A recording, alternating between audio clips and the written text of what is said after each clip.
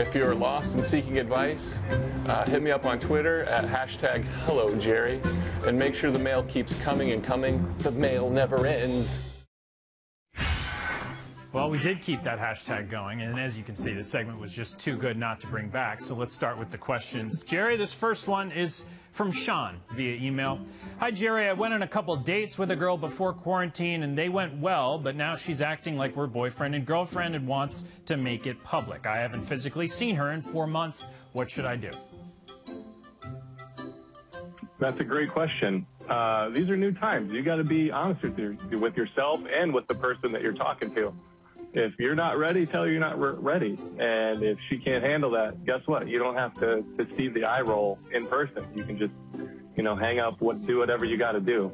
Uh, but honesty is always the best policy I found out. And uh, when you're dealing with the opposite sex, I, it's 100% the right way to go. This one's from Al on Twitter.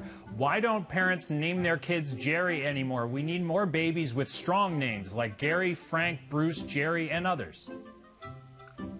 Uh, that's a great question. Uh, the only answer that I know of is every single Jerry that I meet on the street, you know, at the ballpark, whatever it is, they're always either a junior or a senior. So there's no, you know, a guy named Stevens out there being like, hey, I think a good name for our son is going to be Jerry.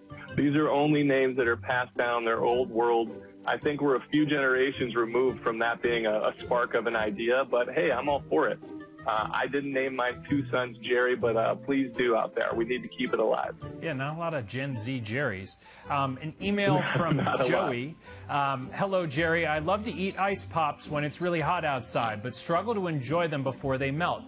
On one hand, I can rush through this summer delicacy, which will result in a brain freeze headache, or I can go slowly, which will result in its melting. How should I proceed with such a delicate topic? Easy. The answer is do it with friends. Divide it up. Give it a nice little cut.